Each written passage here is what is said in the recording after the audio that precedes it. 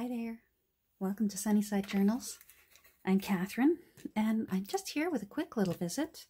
I wanted to show you um, what I finished doing with tulips, and then uh, I just wanted to share a few of the books that I found today at my Kirby book sale, my Kirby church book sale. Um, I didn't get very many today, I only got four, but I was being extra choosy because I really uh, do have a lot of books that that need work. I really don't need more books, but I can't resist, especially because this little book sale doesn't go on during the winter. So I almost feel like a squirrel getting my winter stash ready so that I can have some books to work on uh, throughout the throughout this long Canadian winter that's up ahead of us. So, uh, yesterday I was working on a little ruffle in tulips with a couple of little squares of tulip fabric that uh, came in some happy mail.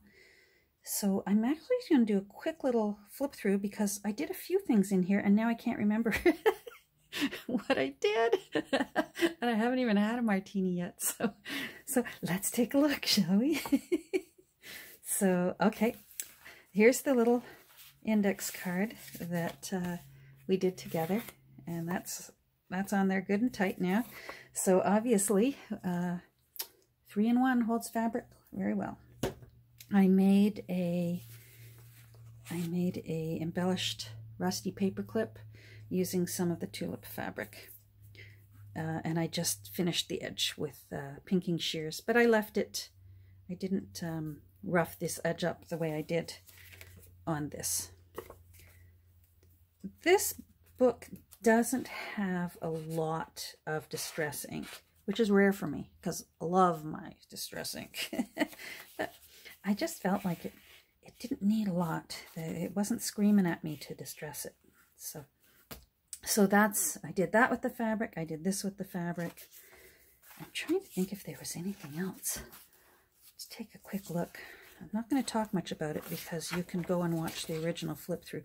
We did this yesterday. We added the little trick-or-treat bag and then just added an index card uh, for journaling on and used some sort of lime green po polka dot uh, ribbon, thin ribbon.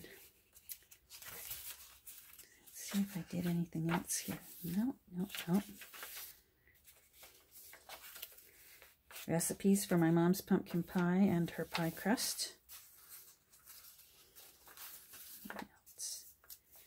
December. No. I know I did more. Mm-hmm. February, Valentine's Day. Oh, I, um, March is St. Patrick's Day. Hold on, what do you get there? March is St. Patrick's Day, so um, this little page, I just put a little bit of green distress ink on that for, it's St. Patty's Day, right? It, it, it, needed something, especially I wanted it to be able to stand out a bit from this plain back page. So, and then of course robins. Where I live, March is usually when the robins keep uh, return. I added this little, this is from uh, Nancy at Wishes and Weeds that came in some happy mail. I, I kept one for me and one is going to a new home. So in a way, you're getting a Sunnyside journal and there's a little bit of wishes and weeds in it. That's uh, good value. oh, here. This is what I did. I put another ruffle on this page. So that's the tulip fabric from, again, from Nancy that came in Happy Mail. And then this teeny tiny little green rickrack is actually from Jacqueline. So there's a little bit of everybody in this journal now. So it's, it's nice that it hung around for a bit so that I could uh, play with it a little bit more. But I'm going to leave it be now because I do believe that once something is feeling good, you should just leave it be and let it, uh, let the new owner take over. So I think that's, I think that's it. I don't think I added any more to it. Hmm, nope, nope, nope.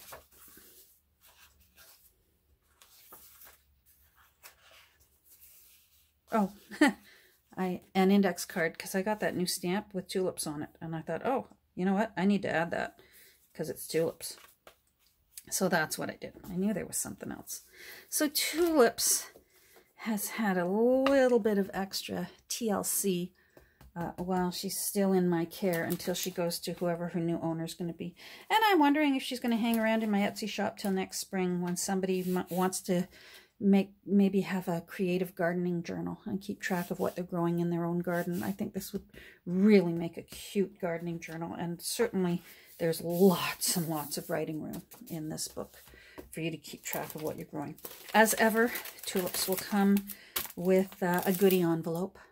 Uh, there's some, I included some tickets from St. John, New Brunswick when I went on my thrift haul my thrift haulorama, my husband and I, boy, those cab drivers made some good money from us that day, and we're happy to help the economy out there.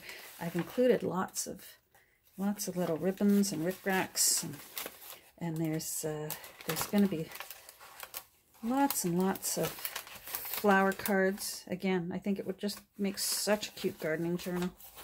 So I'll leave that be. That'll be for the new owner to explore what's in here. So there we go. I'm done with tulips. Let's take a look at the books that I got at my Kirby book sale. Um, they save books for me now. They, they're used to seeing me. I, I go once a month on the Saturdays that my husband works. I go up to the book sale. And uh, so they put things aside for me that they think maybe I'll like. And sometimes they hit the nail right on the head and sometimes it's not quite they, they don't quite like the, the illustrations and that they're trying really hard. Fortunately, they're never offended if I say, oh, yes, I love this one and no thank you to this one. They're wonderful about it. Like they did have a really nice little Beatrix Potter, one of the mini books put aside for me, but ah, I must have 30 Beatrix Potter books. so I thanked them very kindly, but I said I don't need any more. So these books that I got are um, were a dollar each. They sell no matter what the book is, no matter the size, big or small, it's dollar each. This is one of the ones they saved for me. It's actually a really old copy of Alice in Wonderland. So I was really happy about that. It's in pretty sad shape. So this is going to take some TLC to um, to bring Alice back to life. I forget what year it is. The, the previous little owner started coloring in some of the artwork. And I don't know about you, but I actually like that. Look, whoever it was. And they did a good job. They, they, they chose nice colors. They did their best staying in, in the lines. Isn't that something?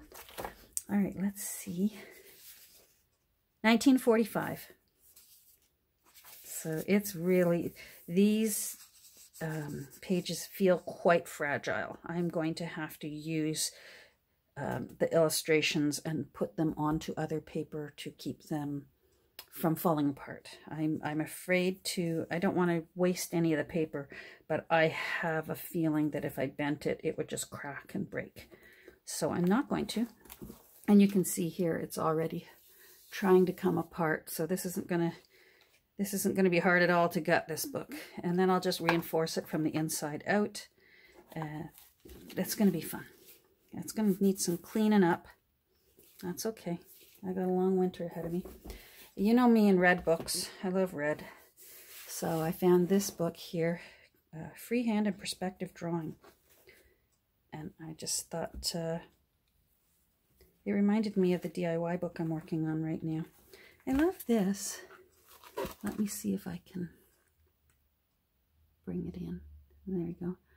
Um, it's from Denver, Colorado. Now, how on earth did a book from Denver, Colorado end up in Kirby, Ontario? Who knows the way the world goes? So, again, this one's really falling apart. This is, I think, was the 1930s? No, 1919. This is old. So this is actually 100 years old.